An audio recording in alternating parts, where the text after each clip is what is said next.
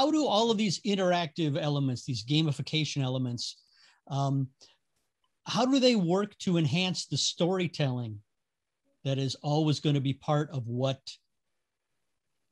what we what you all do? I mean part of the story i mean the, the game is the story perhaps but how do these enhancements help with the storytelling without and maybe this maybe this isn't even an issue maybe it just shows that i'm old without distracting from the story it's funny you say that because i struggled with that for quite a while when we first kind of started making cheesehead tv like a real concern the idea of the the game is the story right? The players is the story.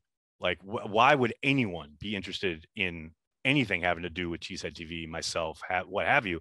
But it's there man. It, and i can't remember who said it but someone mentioned uh you know a younger audience the kind of a divide in like you know where you find people maybe are reclining in their lazy boys and just watching the game but there is a whole generation that just doesn't even know that existence. And that was kind of the aha moment for me. And i'm sure patrick has kind of the, the, the, finds this a lot in the sense of like there's a whole generation that wants their hands in the pie.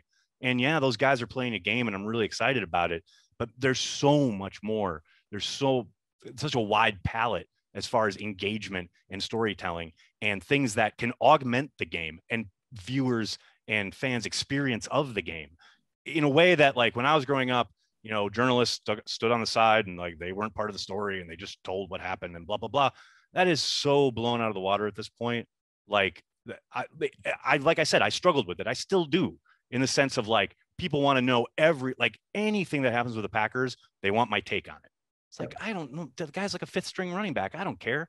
And like they're like, no, but he could really challenge him. Blah blah blah. It's like that, but that's because they have a connection to me, and that again is a really kind of hard thing to work your head around. But uh, it is very real and it is very generational. I've been on a webinar with you for 45 minutes and I feel like I have a connection to you, Aaron. So I get There you, you go. That's what I'm talking about. See, my hearts and minds one at a time, Patrick. That's what I do. About. Look, Eric, what your question for me, I think we saw a couple different things. I think it doesn't detract from the, the story. If anything, it augments and then creates new ones. So we we did this thing where we had to did you know we had camps and combines to find players, and then we did a casting call with like a casting pass. We hired a casting agent to find the guys with the biggest personalities that lit up when a camera turned on, that wanted to create content outside of game day and engage with fans. And then we saw this virtuous circle, right? So you know, as they're out, they're you know cre- creating content on Twitch and being active on social and playing Madden with their fans and those types of things, we saw their number get called more on game day. Right. So there's the story changes. They're actually getting more reps on game day because they've built a relationship with a, uh, a fan in a way that never existed before.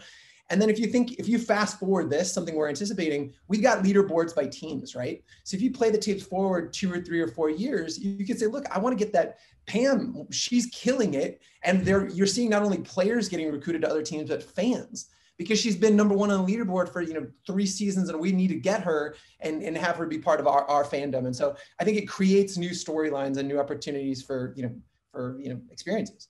I love that. It's also like we're we're dealing with a different audience these days. We're dealing with a distracted audience right? They're they're scrolling through twitter um, while they're watching the game. They're they're doing other things while they're watching the game. Um, so if you're not taking a slice of that pie, you're losing. Um, so you have to create a more interesting experience for them in order to kind of grab that attention. Um, if you're just providing them a, a base level experience, they're going to look elsewhere for additive experiences.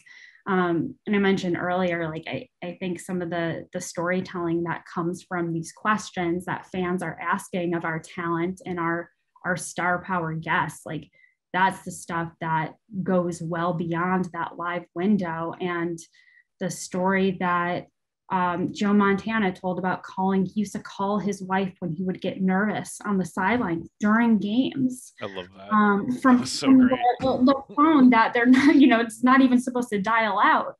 Um, that story continues to accrue views and engagement and lives on forever on our platforms. That and I think that's super valuable for us. Well, it's cool because I feel like that made him real, right? Like you saw right. all everyone thought he was that multiple. Joe Cool. He was Joe Cool, Joe right? Cool, right? right? But he got nervous and called his wife. That's mm-hmm. freaking amazing.